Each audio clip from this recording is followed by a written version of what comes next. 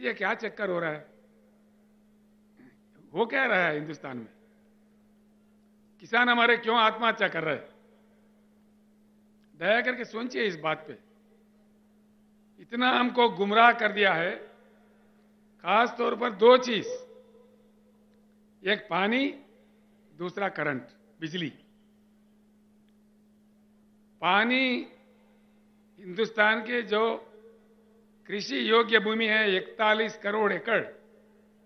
और जो पीने का पानी चाहिए, और जो उद्योग के लिए चाहिए, इन सब के लिए जितना पानी चाहिए, उससे डबल पानी हिंदुस्तान में अवेलेबल है। फिर भी देश क्यों वंचित है? आप लोग सोचिए। ये नहीं है कि पानी नहीं है, फिर क्या नहीं है? राजनेताओं का इच्छा शक्ति नहीं है। देश के प्रधानमंत्री का इच्छा शक्ति नहीं है। राज्यों के मुख्यमंत्रियों का इच्छा शक्ति नहीं है। बस चल रहा तो चला रहे। भगवान के भरोसे चल रहे। ये कब तक चलेगा? ये किसानों का आत्महत्या रुकना चाहिए। ऐसे हम शमशान जाते रहे। बस इसमें खास तौर पर पहले से लेके अब तक एक नेहरू साहब के जमाने में कुछ मनसूबा बनते थे, कुछ प्लानिंग होता था, उसके बाद में केंद्र सरकार जो भी पार्टी का बने, जो भी बने, उनके नालायकपन से आज देश सफ़र कर रहा है। इसमें कोई शक नहीं है। देश को, देश में जो उपलब्ध है पानी, जो हमारा अपना संपत्ति है, जो जनता के हक में है, ये समंदर में बहे जा रहे हैं। और हमारे सरकारें तमाशा देख रहे हैं। देश में अगर पानी सही तरीके से सिंचन के लिए, पीने के लिए, उद्योग के लिए, अन्य चीज़ों के लिए आना चाहिए तो बढ़िया बाँध बनाना चाहिए, बहती नदियों को रोकना चाहिए। एक बात मैं आपको बताता हूँ, आप शायद विश्वास भी नहीं कर पाओगे।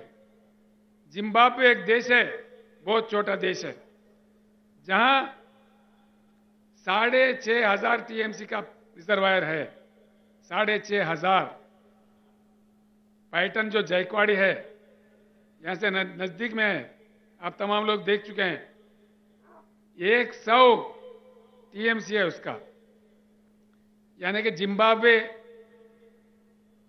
जो रिजर्वायर की मैं ज़िक्र कर रहा हूँ, वो पैटर्न से पैंसठ बार बड़ा है, पैंसठ बार। हिंदुस्तान बाढ़ भी देख चुका है, सूखा भी देख चुका है जिम्बाब्वे जैसे हमारे पास कम से कम तीन चार रिजर्वायर तो होना चाहिए। देश को बाढ़ से बचाने के लिए, सूखा से बचाने के लिए, लेकिन नहीं करते। पानी का तमाशा, पानी रखते हुए देश को नहीं दिया जा रहा है। इसके बीआरएस का ये लक्ष्य है, पूरे देश में आज जो पानी की पॉलिसी है, उसे बंद करना चाहिए। नया रचना, नया कानून जब तक नहीं लाया जाएगा ये तमाशा ऐसा चलते रहेगा। हमारे खेते प्यासे रहेंगे, हम प्यासे रहेंगे, हमारे लोग भी। आठ दिन के बजाय पंद्रह दिन भी हो सकता है शहर में फिर और बुरा हालत भी हो सकता है। इसीलिए अब सोचिए, एक बहुत अहम बात है। पानी को समझने में हमारे देश अभी भी पीछे है। पानी एक ऐसी चीज़ है जो किसी फैक्ट्री में नहीं बनाया जा सकता। पानी को इंसान नहीं बना सकता। पानी खुदा का, भगवान का देन है। जो अपने आप में आता है, प्रकृति देता है। बहुत ही मूल्य चीज़ है।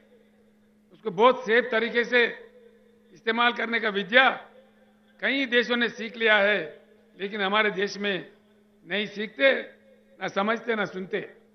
మొబిలైజ్ ఎవరైనా దుబాయ్ పంపించిన దాఖలు ఉన్నాయి మరి నిజంగానే? రెండు వేల ఒకటి తర్వాత కేసీఆర్ అని పేరు వచ్చింది కానీ అప్పటికి ఆయన పేర్లు ఏంటి?